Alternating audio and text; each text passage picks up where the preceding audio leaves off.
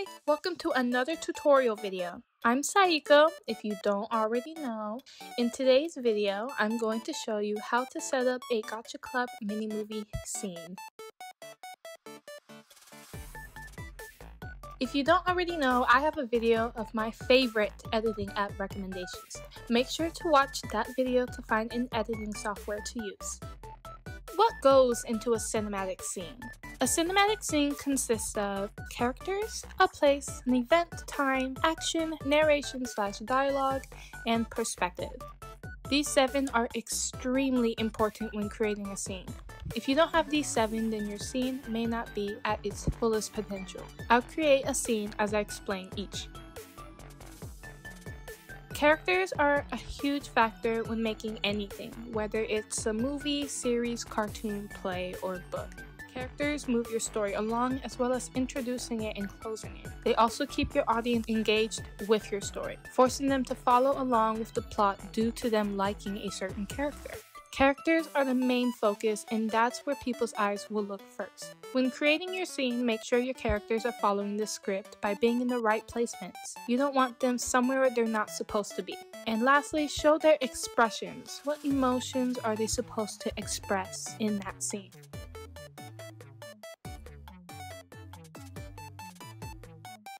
The place is important to any story. It can determine where your characters are, where they were before, and where they're going next. Your background should make sense and should have a style that matches with the previous background you chose from a different scene. I recommend searching anime backgrounds for your movie. The Gacha Club backgrounds are a bit overused and sometimes doesn't have the exact place you want.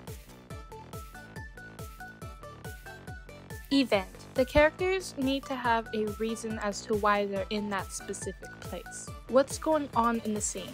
Why are your characters here to begin with? Time. For a scene, you need to have time. What time of day is it? Is it morning, afternoon, evening, or night? It's very important for the coloring of your scene as well. Action is basically what's going on. What are your characters doing in this scene? Are they walking, talking, eating, fighting? What's happening with your characters in this scene? If you want to make the scene look even better, I recommend placing background characters. Make sure the background characters are doing something. You don't want them to just stand around, unless they're talking, of course. Have a few characters pass by in the shot. It'll make the scene look more authentic.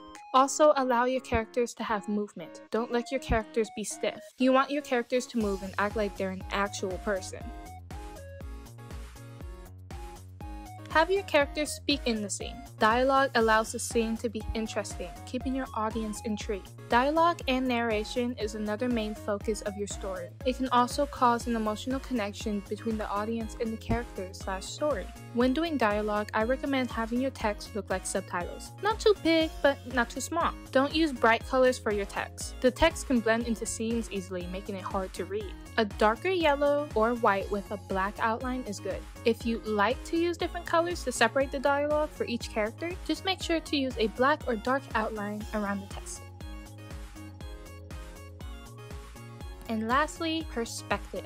This is a big one. In a lot of Gacha mini movies, I tend to see creators forget about perspective in scenes. Perspective is so important because not only does it make your movie look 10 times better, but it also makes each scene easy to connect to. It makes the audience feel like they are watching the scene happen in person. When doing perspective, it's important not to shift the camera angles more than twice in a scene. This also depends on how long the scene is. If the scene is 1 to 2 minutes long, the camera only needs to shift twice. If the scene is 3 to 5 minutes long, then about 3 to 4 times. Don't shift it too much because that will throw off the viewer's focus. It also isn't pleasing to the eye. You want to give the viewer enough time to fully look at the camera angle before you switch it. There you have it! You just learned how to enhance slash create your scenes. I hope you all learned something from this video.